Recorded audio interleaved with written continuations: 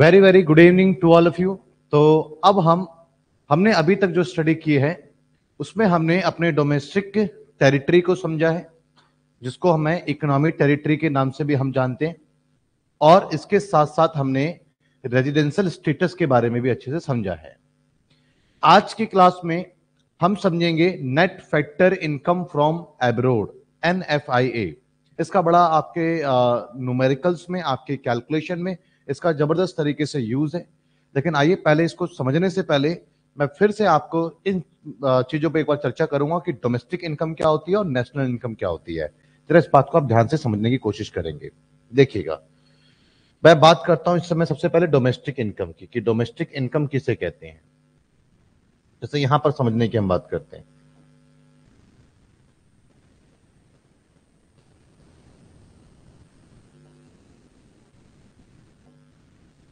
देखिए, बात करेंगे हम डोमेस्टिक इनकम की सबसे पहले। डोमेस्टिक इनकम जिसको हम बोलेंगे घरेलू आय। घरेलू आय। आप बिल्कुल सही समझ रहे हैं। घरेलू आय बेसिकली आपको मैं यहाँ पर हिट कर रहा हूँ कि ये आपका बेसिकली किस चीज़ से रिलेटेड है। ये आपका जो है, ये मैं एक तरीके से डोमेस्टिक इनकम है। डोमेस्टिक इनकम है या प्रोडक्ट है तो आपका ये बेसिकली मैं जीडीपी की बात कर रहा हूँ। और एक हमारा होता है नेशनल इनकम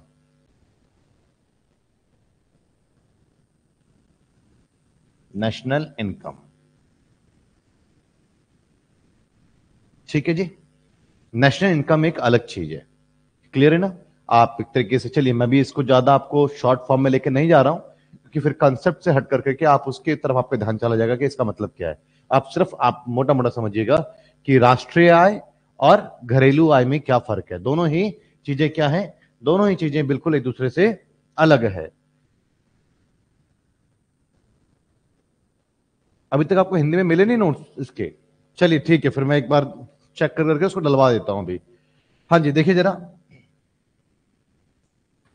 डोमेस्टिक इनकम तो बेटा डोमेस्टिक इनकम क्या होता है? ये कहता है डोमेस्टिक इनकम बेसिकली कौन इनकम को अर्न कर रहा है, उससे बिल्कुल भी रिलेटेड नहीं है।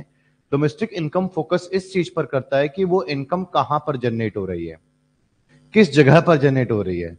तो अर्न करने वाले से मतलब नहीं है अर्न कहाँ पर हो रहा है, उस क्षेत्र, उस जगह से इसका जो है जो है, ये रिलेट करता है। अब हमारे जितने भी डोमेस्टिक टेरिटरी हैं, अब आपको पता होना चाहिए कि हमारे डोमेस्टिक टेरिटरी क्या है, क्योंकि ऑलरेडी मैंने ऐसी क्लासेस आपको पहले दे दी है, ताकि आप आगे इसको आसानी से समझ पाए। फिर भी मैं एक थोड़ा सा शॉर्ट में मैं आपको बता देता हूँ। वो सभी क्षेत्र, वो सभी एरिया जहाँ पर हम, हमारे गुड्स जो है फ्रीली मूव कर सके, वो सभी एरिया हमारा डोमेस्टिक टेरिटरी का पार्ट होता है। डोमेस्टिक टेरिटरी के अंदर भारत में बहुत सभी क्षेत्र लगभग लगभग हमारा डोमेस्टिक टेरिटरी का पार्ट है, लेकिन भारत में होते हुए भी कुछ क्षेत्र हमारा डोमेस्टिक टेरिटरी का पार्ट नहीं है। जैसे कि मान लीजिए कि रेस्ट ऑफ़ वर्ल्ड की जो एम्बेसिस भारत में है, वो हमारे डोमेस्टिक टेरिटरी का पार्ट नहीं है। इंटरनेशनल ऑर्गेनाइजेशन का कोई ऑफ़िस है भारत में, वो हमारे डोमेस्टिक टेरिटरी का पार्ट नहीं है। ऐसी कोई कंपनी जिसका रजिस्ट्रेशन बाहर हुआ है लेकिन वो यहाँ पर जो है, वो अपना बिज़नेस कर रही है, वो हमारे डोमेस्टिक टेरिटरी का पार्ट नहीं है। तो भारत में ऐसे कुछ जगह हैं जो हमारे डोमेस्टिक टेरिटरी के अंदर काउंट नहीं होता है। इसी तरीके से भारत के बाहर ऐसी कुछ जगह जो हमारे, भारत जो कि हमारे पॉलिटिकल टेरिटरी हमारे जो है पॉलिटिकल बाउंड्री के बाहर होते हुए भी हमारे इकोनॉमिक टेरिटरी मीन्स हमारे डोमेस्टिक टेरिटरी का एक पार्ट होती है। जैसे हमारी एम्बेसिस जो है रेस्ट ऑफ़ वर्ल्ड में है तो सब हमारे डोमेस्टिक टेरिटरी का पार्ट होंगे। हम ऐसी कंपनी जो इंडिया में रजिस्टर है टाटा की कंपनी या फिर रिलायंस की कंपनी जो बाहर इसके जो है ऑफ़िस हैं। क्लियर है? ये सारे का सारा जो क्षेत्र जो कि हमारे पॉलिटिकल बाउंड्री के बाहर होते हुए भी वो हमारे डोमेस्टिक टेरिटरी का पार्ट होंगे। मेरी बात समझे? तो वो जो हमारे डोमेस्टिक टेरिटरी पर इनकम जनरेट हो गई, अब चाहे वो किसी ने भी जनरेट करा हुआ उससे कोई लेना देना नहीं है इसका। वो इनकम हम अपने जीडीपी में डोमेस्टिक इनकम में शामिल कर लेते हैं। मेरी बात समझिएगा। इस तरीके से क्या, जैसे मान लीजिए कि यहाँ पर आप देखेंगे कि जैसे मान लें आप कि एक डॉक्टर जो है विदेश में जाता है। एक एग्जांपल समझाने की कोशिश करता हूँ मैं आपको। एक डॉक्टर है, वो विदेश में जाता है। चलिए, एक डॉक्टर है वो चाइना में चला गया और चाइना में जाने के बाद एक डॉक्टर है, वो चाइना में जाता है और चाइना में जाकर के एक ट्रीटमेंट करता है। और यहाँ ट्रीटमेंट करने के बाद इसको जो है, कुछ एक अमाउंट मिलता है। मान लीजिए इसको वन लाख रुपीस मिला, इसकी फ़ीस मिली और ये फ़ीस को लेकर के वापस इंडिया लौट जाता है। वापस इंडिया इस पैसे को लेकर के ये रिटर्न हो गया, लौट गया ये वापस इंडिया इस पैसे को लेकर के। लेकिन ये जो डॉक्टर है, ये जो डॉक्टर है, इसकी इनकम को जीडीपी अपने अंदर शामिल नहीं करेगी।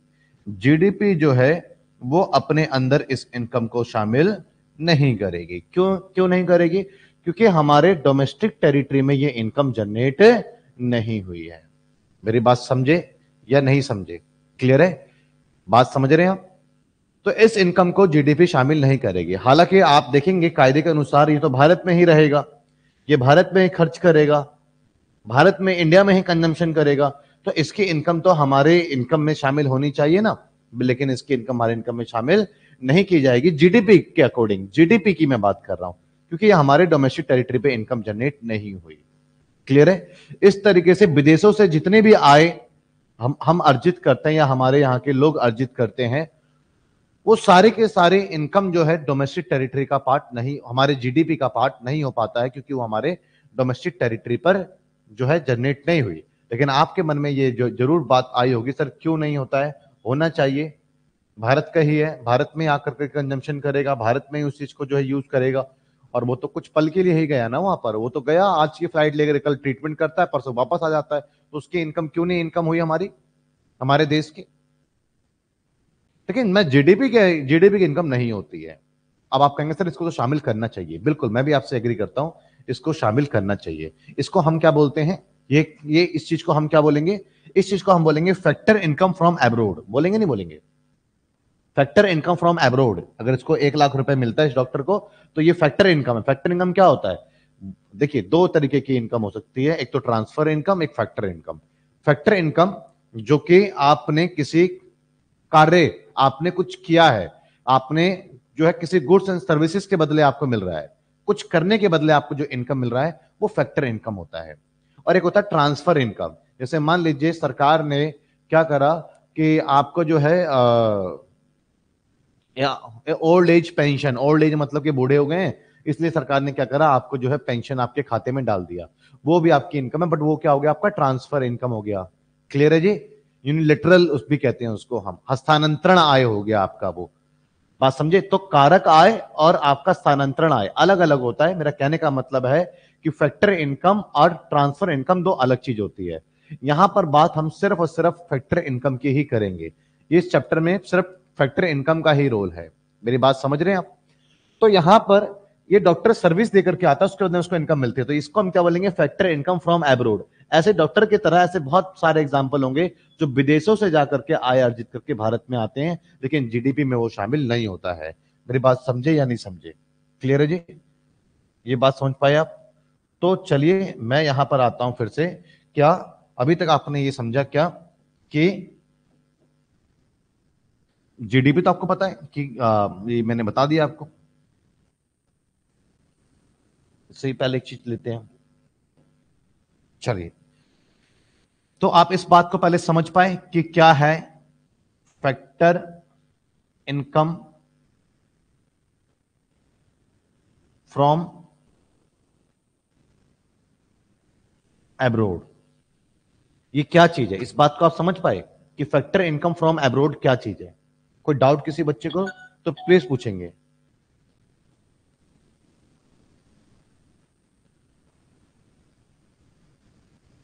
वो इनकम जो कि आपने अपने डोमेस्टिक टेरिटरी पे जनरेट नहीं की, वो आपके जीडीपी में आपका इंक्लूड नहीं होगा। लेकिन कुछ ऐसी आय हैं, जैसे कि मैंने उदाहरण लिया डॉक्टर का। क्लियर है, हमारे क्रिकेट खिलाड़ी है, विदेशों में जाके मैच खेलते हैं, वहाँ पर उनको मैन ऑफ़ द मैच मिलता है, उनको फ़ीस मिलती है। उस इनकम को भी हम जो है फैक्टर जो है जीडीपी शामिल अपने अंदर नहीं करती है। जबकि होना चाहिए ना तो जीडीपी में क्या चीज़ है? फैक्टर इनकम फ्रॉम एब्रोड शामिल नहीं है। मेरी बात समझिएगा इस चीज़ को। Factor income from abroad. ये उसके अंदर शामिल नहीं है, ये होना चाहिए। मैं भी आपकी बात से बिल्कुल सहमत हूँ। और एक क्या है हमारे पास में? और और एक चीज़ और जरा समझिएगा। एक तो ये प्रॉब्लम तो है ही। आप, आपका ये कहना है कि सर ये शामिल होना चाहिए। मेरी बात समझिए। आपका ये कहना है ना? क्या? कि सर, ये तो गलत बात है। जीडीपी में ये होना चाहिए। क्यों नहीं होगा ना होगा? होना चाहिए जीडीपी में। आप ऐसा कह रहे हैं? ठीक है। चलिए। मैं भी आपकी बात से सहमत हूँ, सिर्फ़ आप अकेले नहीं हो, आपके सर भी आपके साथ हैं, बिल्कुल जीडीपी में इसको होना चाहिए, लेकिन जीडीपी इसको अंदर शामिल नहीं करता है। अभी थोड़े धीरे धीरे अभी रुक जाइए, वेट कीजिए, कुछ चीज़ें भी आपको पता लग जाएँगे, आपके डाउट सारे क्लियर हो जाएँगे। और भी कुछ बातें हैं जिसको आपको और अच्छे से समझना है, उसी पे आते हैं हम, इसी पे आते हैं जी। दुनियादारी की बात तो आपको यही समझ में आएगी। ये एग्ज़ाम्पल आपको एक समझ में आया, चलिए, एक और एग्ज़ाम्पल लेते हैं। देखिए यहाँ पे तो भैया रेड कलर ये है येलो कलर ये है ग्रीन कलर काम करेगा। चलिए जी अब भारत को कहाँ भेजें? भारत को भेज देते हैं भैया कहाँ भेजना चाहेंगे आप बताएँ। चलो फिनलैंड भेज देते हैं इंडिया को। मान लो फिनलैंड की आ, क्रिकेट टीम इंडिया आती है। ये। और इंडिया में आ, क्रिकेट मैच खेलती है। और यहाँ से उसको कुछ इनकम जनरेट होता है, वो फिर अर्न कर करके वापस अपने कंट्री फिनलैंड चली जाती है। लेकिन जीडीपी क्या करता है? आपको पता है कि जीडीपी जो है, इस तरीके की इनकम को, किस तरीके की इनकम को? ये इस तरीके की इनकम को, जो कि चाइना से आ रही है। इस इनकम को अपने अंदर शामिल नहीं करती है। लेकिन जो फिनलैंड से लोग आए हैं, मेरी बात समझिएगा क्लियर है? और हमारी आय इनकम क्या होगी? हमारी इनकम फिनलैंड जा रही है। फिनलैंड जा रही है हमारी इनकम मतलब हमारे देश का पैसा। फिनलैंड जा रहा है, क्योंकि मैच खेले और वो जा रहा है। तो वो पैसा जो विदेशों से हमारे यहाँ पर आ रहा है फैक्टर इनकम फ्रॉम एब्रोड उसको शामिल नहीं करती है। लेकिन ये पैसा जो विदेश चला गया, इसको जीडीपी पकड़ के बैठ जाता है। क्यों पकड़ के बैठता है? क्योंकि इंडिया में मैच हुआ है, हमारे डोमेस्टिक टेरिटरी में क्रिकेट मैच खेला गया है तो इसलिए माना जाएगा कि हमारे डोमेस्टिक इनकम का पार्ट है। तो ये वाला सेगमेंट जो है, आपका क्या कहता है कि हमारा जीडीपी में शामिल है। लेकिन आप यहाँ पर कहोगे, यहाँ पर भी आप एग्री नहीं करोगे। आप कहोगे, सर, ये आप कर, आप कहोगे, सर, ये गलत बात है। क्यों? भाई, वो फिनलैंड से आया, क्रिकेट मैच खेला, पैसा उठा के ले गया अपने देश में तो जीडीपी इसको अपने अंदर क्यों लेके बैठा है? तो दो बातें आपको भी अभी आपको दो बातें हैं जो डाइजेस्ट आपको नहीं हो रही है। एक तो क्या? कि जो हमारे डॉक्टर हमारे खिलाड़ी विदेशों में पैसा कमाते हैं और भारत में लेकर के आ जाते हैं, उस पैसे को जीडीपी शामिल नहीं करती है। मतलब फैक्टर इनकम फ्रॉम एब्रोड को जीडीपी अपने अंदर लेकर के नहीं चलती है, पहली चीज़। दूसरी, वो पैसा जो विदेश जा रहा है, वो फैक्टर इनकम टू एब्रोड इसको कहते हैं। Factor income to abroad from मतलब आना टू मतलब जाना। वो पैसा फैक्टर इनकम टू एब्रोड जो विदेश जा रहा है पैसा, उस पैसे को जीडीपी अपने अंदर शामिल करके बैठी है। क्यों? क्योंकि वो हमारे डोमेस्टिक टेरिटरी का पार्ट है। तो अब आपके मन में एक बात होगा, आपके मन में एक विचार होगा। आपके मन में बात और विचार ये है कि, sir factor income from abroad जो कि जीडीपी अपने अंदर इसको इंक्लूड नहीं करता है। रीजन ये है क्योंकि वो हमारे डोमेस्टिक टेरिटरी पर इनकम जनरेट नहीं हुई। ये होना चाहिए क्योंकि हमारे देश में ही कंजम्पशन होना है। बट जीडीपी अपने अंदर इंक्लूड नहीं करता है। दूसरी बात फैक्टर इनकम टू एब्रोड क्योंकि हमारे डोमेस्टिक टेरिटरी पर इनकम जनरेट हो गई है तो हमने जीडीपी लेके बैठ गया अपने अंदर, जबकि वो शामिल नहीं होना चाहिए, क्योंकि पैसा तो विदेश चला जाएगा। लेकिन जीडीपी अपने अंदर इस पैसे को शामिल करके बैठता है और इस पैसे को शामिल नहीं करता है। तो अब आपके मन में विचार आया कि, सर, ये तो बहुत बड़ा गड़बड़ है भैया, ये तो सारा का सारा गोलमाल है। ये तो गोलमाल है भैया। आप कहोगे, sir factor income from abroad होना चाहिए जीडीपी के अंदर, ये गलत बात है। और आप एक बात और कहोगे, क्या? सर, एक बात और कहते हैं, ये जो है ना, ये फैक्टर इनकम टू एब्रोड ये जीडीपी के अंदर शामिल ये हुआ पड़ा है, इसको नहीं होना चाहिए, सर। आप ये बात बोलोगे या नहीं बोलोगे? आप एग्री करते हो? मेरी बात से आप सहमत हो कि कुछ ऐसा होना चाहिए? GDP factor income from abroad को लेके नहीं बैठा, ये होना चाहिए। और फैक्टर इनकम टू एब्रोड जो बाहर जा रहा है, ये पैसा नहीं होना चाहिए, बट ये लेके बैठा है, इसको माइनस करो यहाँ से। निकालो यहाँ से।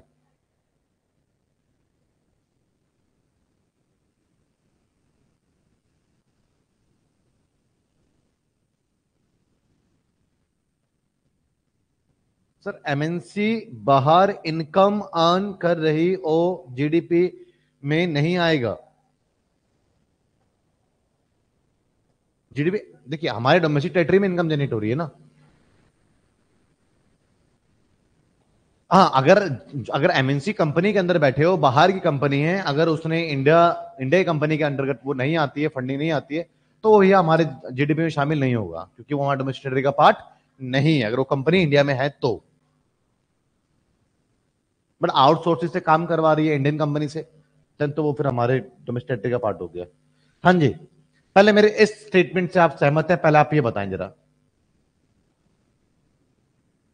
यूट्यूब पे क्लासेस अभी नहीं डल पाएँगी और आगे नहीं डलेंगी। सारी क्लासेस में यूट्यूब पे कुछ दिक्कत आ गई है। इस वजह से, और लेकिन हम आपका वेट नहीं कर सकते तो आपका तो अच्छा है कि आपका एप्लीकेशन है तो उस पर आप अपने क्लासेस कंटिन्यू करते रहिए। इस पर किसी प्रकार का कोई भी दिक्कत नहीं है आपके एप्लीकेशन पे। ठीक है जी? यूट्यूब से खबर तो आपको मिली गई होगी। हाँ जी, लगातार अक्षय मुझसे कुछ पूछने की कोशिश भी कर रहे हैं। सर रिपीट कर दो फीफा सर फीफा क्या मैंने बताया भी factor income from abroad sir, बच्चे, ये तो गलत बात है, ये तो आप थोड़ा सा पीछे जाओ। नहीं नहीं नहीं नहीं।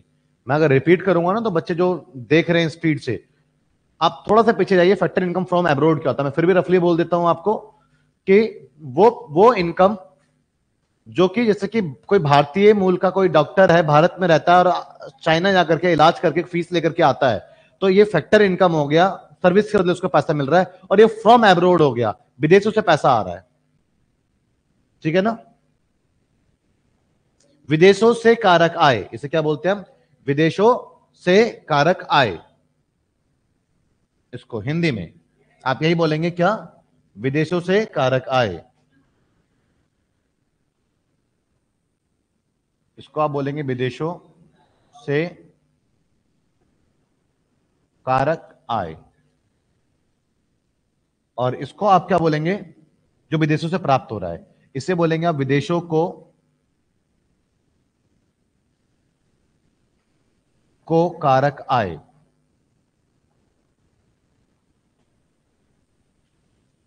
मेरी बात से सहमत है आप? क्लियर है? बात समझे? तो ये चीज़ होनी चाहिए या नहीं होनी चाहिए? आप कहेंगे, सर, ये बिल्कुल होना चाहिए। क्लियर है? ये बात समझ में आपको आई?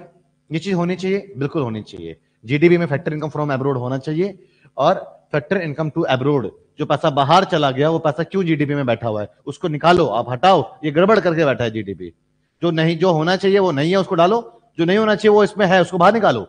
तभी जीडीपी सुधरेगा। आप ऐसा कहना चाहते हैं। जीडीपी जीडीपी रहेगा। सुधर के क्या हो जाएगा? मैं बताता हूँ सुधर के क्या होगा। पहले आप इसको समझिएगा। एक बात मुझे यहाँ पर समझ में नहीं आ रही है। क्लियर है? क्या? वो मुझे समझ में ये नहीं आ रहा है कि मान लीजिए, एक बार पहले मेरी बात समझिए। मुझे आपसे बीस रुपए लेने हैं। आपसे बीस रुपए मुझे लेने हैं। और आपको अट्ठारह रुपए देने हैं। मुझे आपसे बीस रुपए लेने हैं। ठीक है भैया? समझिए इस चीज़ को। ये मैं हूँ। ये आप हैं। ये टीचर है। ये स्टूडेंट है।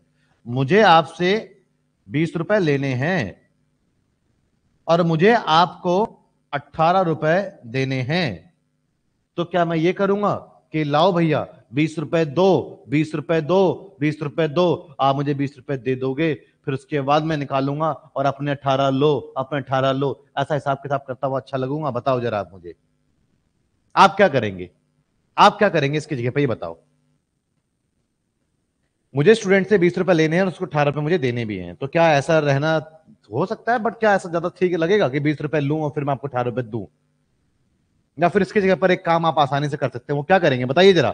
जरा कमेंट करिए यार। कमेंट करके फटाफट जरा बताइए आप इसका आंसर कि आप होंगे तो आप क्या करेंगे? अच्छा नहीं, ज़्यादा लेंगे। अरे वाह, मेरे शेर।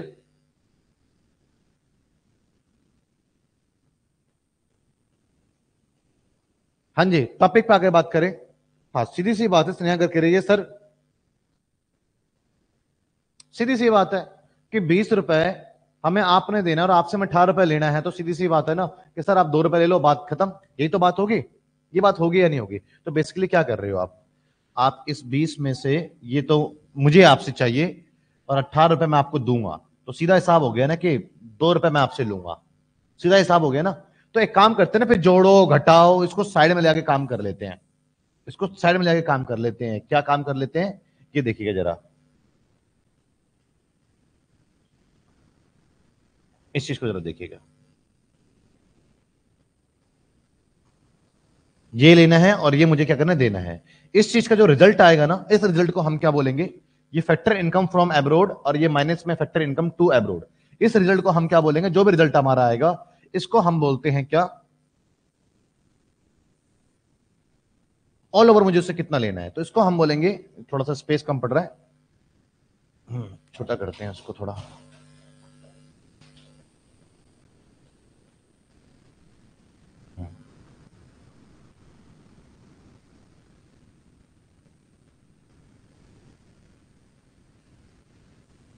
देखिएगा।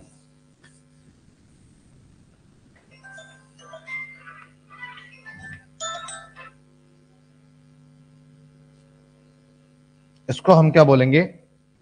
इसको हम बोलेंगे बच्चे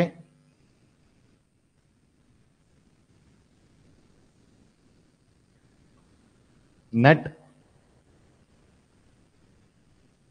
factor income from abroad from abroad मेरी बात समझे? क्लियर है? एग्ज़ाम्पल के लिए समझते हैं। मुझे विदेशों से बीस रुपए ऐड करना है, क्योंकि फैक्टर इनकम फ्रॉम एब्रोड जिसने जीडीपी में शामिल नहीं हुआ था, बीस रुपए, मुझे ये चीज़ें शामिल करनी है। और अठारह रुपए, वो पैसा जो कि जीडीपी अपने अंदर लेके बैठा है, फैक्टर इनकम टू एब्रोड जो बाहर चला गया है, उसको जीडीपी से निकालना है। तो आपके पास में जो दो रुपए है ना, जो दो रुपए तो नेट मुझे विदेशों से बेसिकली क्या है कि दो रुपए ही मैं रखूँगा अपने इनकम के अंदर, के दो रुपए बेसिकली क्या हुआ, हमारी इनकम जनरेट हुई है। तो इसको मैं क्या बोलूँगा, इसको मैं, फ़र्क है, मैं इसको फैक्टर इनकम फ्रॉम एब्रोड नहीं बोलूँगा। ये है फैक्टर इनकम फ्रॉम एब्रोड। ये क्या हो जाएगा? ये हो जाएगा नेट। नेट इतना लेना है मुझे। नेट।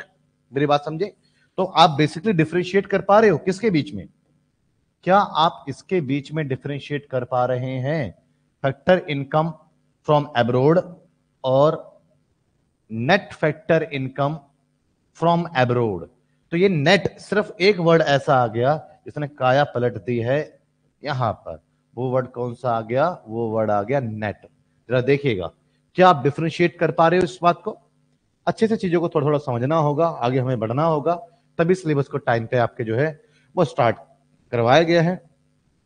और आपके पास भी पेशेंस है, मेरे पास में भी इस समय पेशेंस है, मैं आराम से समझा सकता हूँ, मुझे इस बात का प्रेशर नहीं है कि भैया बहुत कम कंटेंट हो रहा है, अगले महीने पेपर है। इस बात का प्रेशर नहीं है, आराम से पढ़ेंगे चैप्टर जब तक तो बहुत आराम आराम से पूरा सिलेबस बहुत अच्छी तरह से कवर कर लेंगे। मुझे एक बात बताइए, पहले आपको ये बात समझ में आई कि net factor income from abroad अब देखिएगा net factor income from abroad ये बात समझ में आपको आ गई है?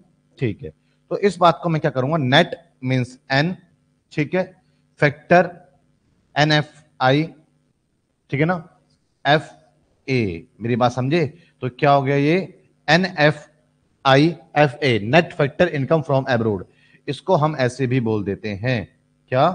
एन एफ़ आई ए भी बोल देते हैं। फ्रॉम एब्रोड नहीं बोलते net factor income abroad clear है जी? मेरी बात समझे या नहीं समझे? तो ये, इस बात को समझे कि इसका फॉर्मूला क्या हुआ?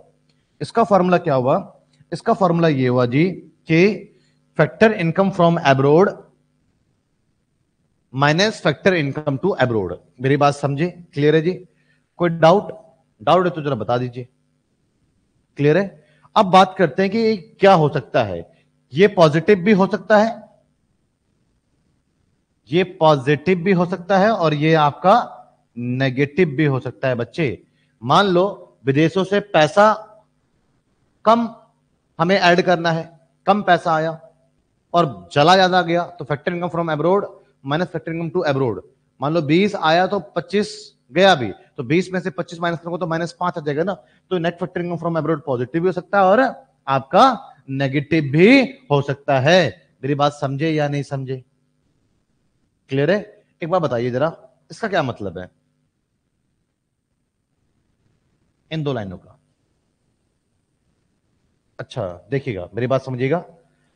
Net factor income from abroad समझ में आ गया? Net factor income from abroad positive and negative जो पॉजिटिव है उसको पॉजिटिव ट्रीट करना है, जो नेगेटिव है उसको नेगेटिव ट्रीट करना है।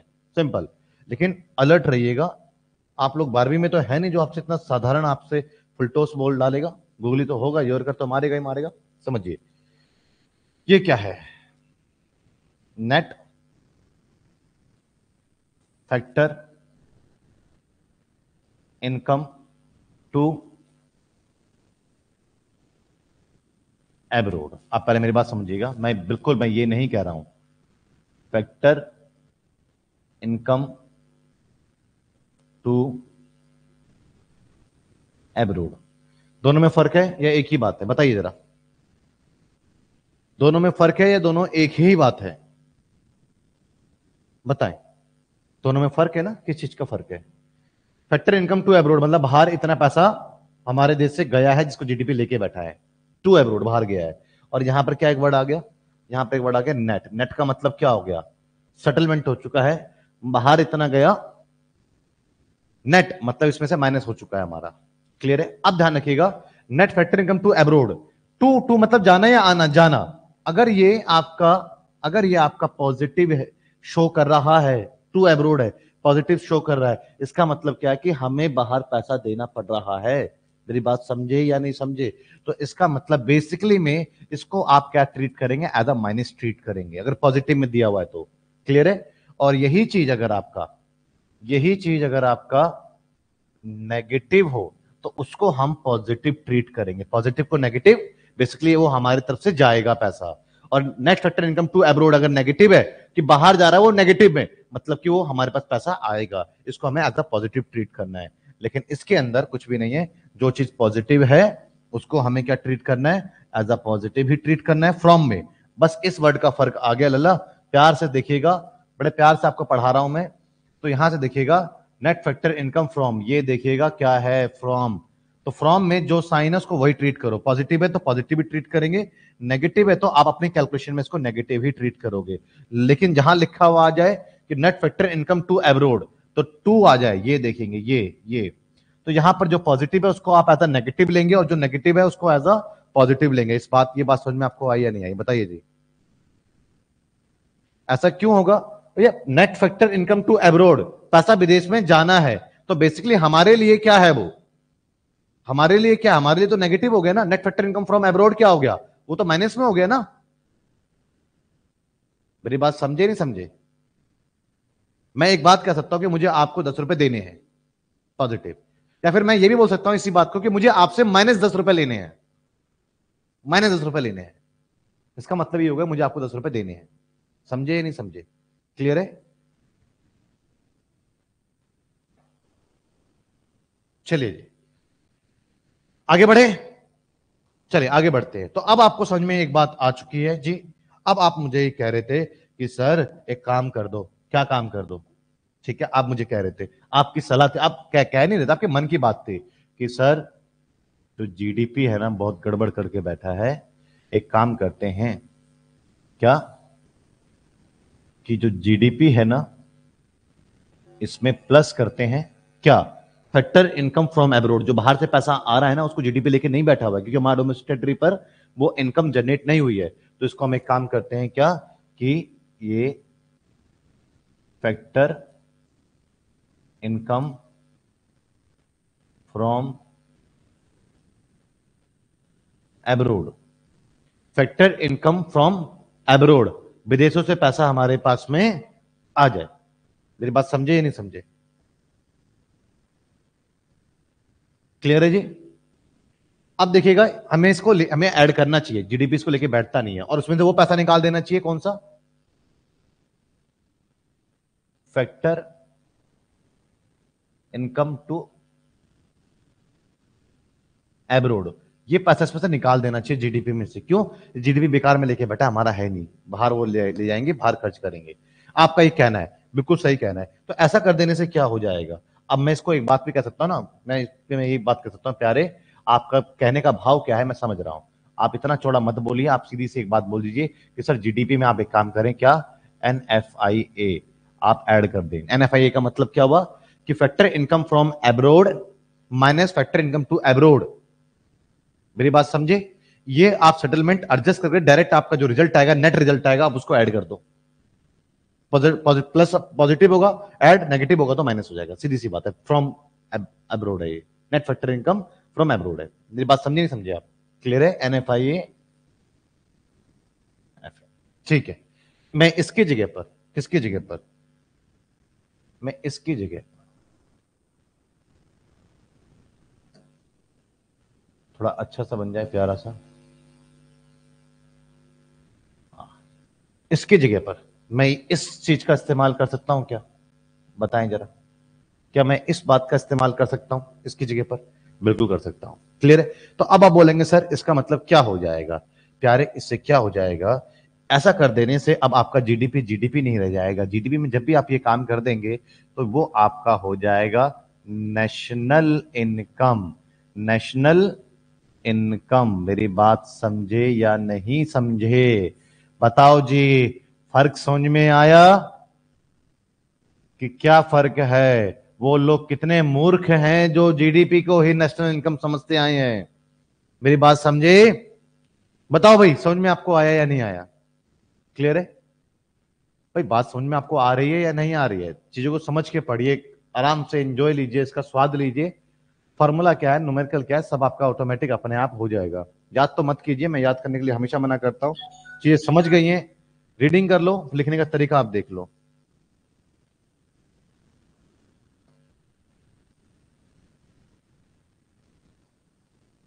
क्लियर है जी?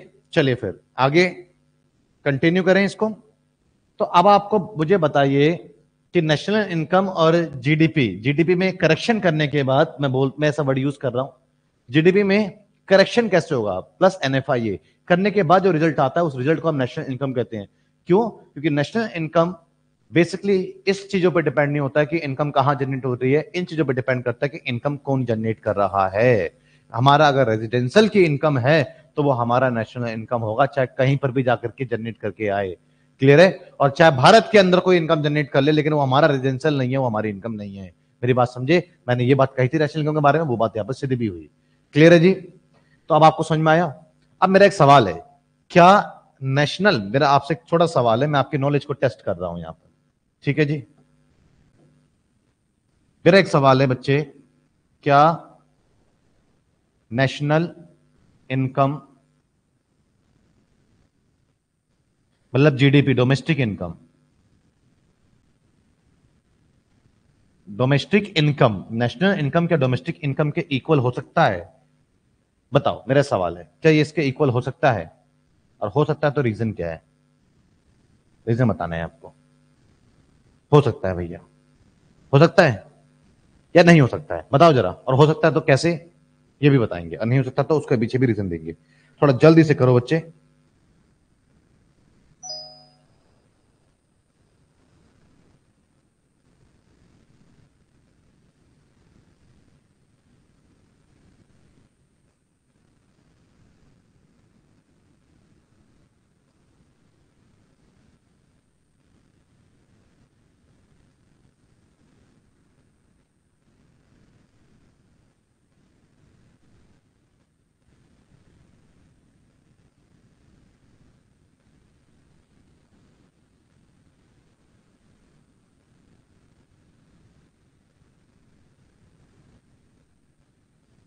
डन हाँ जी। जरा देखें। नहीं, हो सकता है, बिल्कुल हो सकता है। क्यों नहीं हो सकता जी? कब? जब आपका N F I A to क्या हो आपका? आपका जो है एन एफ़ आई ए आपका इक्वल्स टू क्या हो? ज़ीरो हो। जितना हमें आना है, उतना ही हमें यहाँ से जाना है। ज़ीरो हो गया। तो अब आपके पास पे जीडीपी में कोई फ़र्क ही नहीं पड़ेगा, वो नेशनल इनकम भी वही रहेगा। बात समझे? क्लियर है? अगला। चलिए। नेक्स्ट अब मुझे बताएँ, क्या ये तो हो ही सकता है national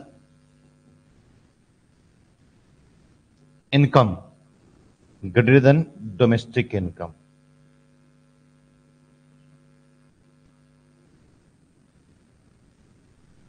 ध्यान रखना बैंक वगैरह में ऐसे क्वेश्चंस यहीं से तो पूछते हैं आपकी नॉलेज से कि क्या ऐसा हो सकता है, किस ऑप्शंस भी दिए होते हैं। हाँ जी नेशनल इनकम क्या डोमेस्टिक इनकम से ग्रेटर हो सकता है आपका? बताइए। हो सकता ही नहीं हो सकता है। बिल्कुल हो सकता है यस कब? When N F I F A is positive जब हमारा ये पॉजिटिव रहेगा तो ऐड होगा तो नेशनल इनकम क्या हो जाएगा? जीडीपी से बड़ा बन जाएगा। बात समझे या नहीं समझे? ठीक है जी? चलिए थर्ड वन और इंपॉर्टेंट क्या? नेशनल इनकम हमारा कम हो सकता है क्या डोमेस्टिक इनकम से? क्या डोमेस्टिक इनकम से नेशनल इनकम कम हो सकता है? जरा इस बात को बताइए मुझे आप। क्या नेशनल इनकम डोमेस्टिक इनकम से कम हो सकता है? इस बात को बताएँ। बिल्कुल हो सकता है। कब? दिख रहा है आपको यहाँ पे? बता देना जहाँ नहीं दिखेगा। बिल्कुल हो सकता है। जब, कब? मैं यहाँ रीजन देता हूँ। यस कब? When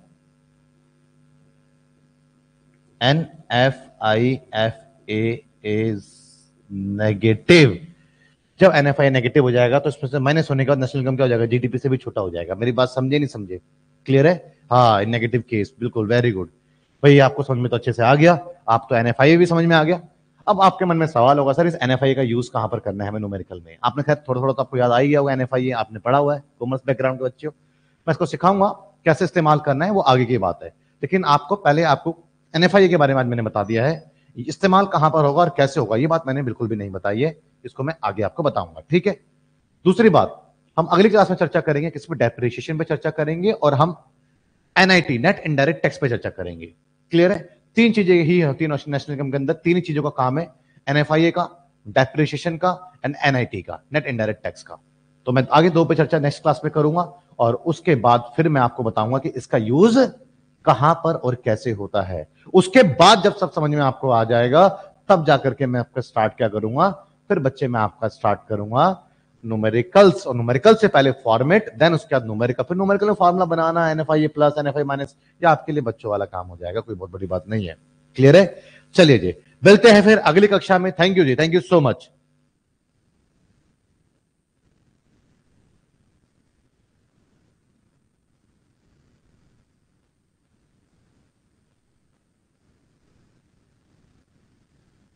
नहीं आदित्य जी तो मैं एक बार चेक कर लेता हूँ। ठीक है जी? इस एनएफआई को क्या बोलते हैं? मैं एक बार हिंदी में लिख देता हूँ फिर भी। विदेशों, इसको, इस चीज़ को हम क्या बोलते हैं? इसको हम बोलते हैं विदेशों से शुद्ध कारक आय शुद्ध मतलब नेट माइनस करने के बाद। फ्रॉम माइनस टू कर करके जो रिज़ल्ट आएगा, उसको शुद्ध बोलते हैं एनएफआई को। क्लियर है जी?